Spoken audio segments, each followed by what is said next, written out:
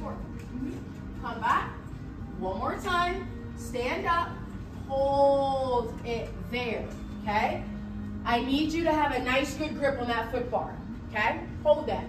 From here, you just push the carriage out one inch. And yeah, just one inch. Just bring back in. support.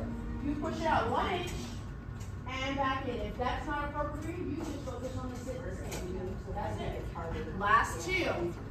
Mm-hmm. And one. Now, keep standing. Keep standing, keep standing. We're gonna keep the carriage closed. Lower your heels, lift your heels. Lower your heels, lift your heels. That's where that tendon stretch comes in. Lower your heels, lift your heels. One more time. Lower your heels, keep your heels down, and just enjoy that stretch. I'm not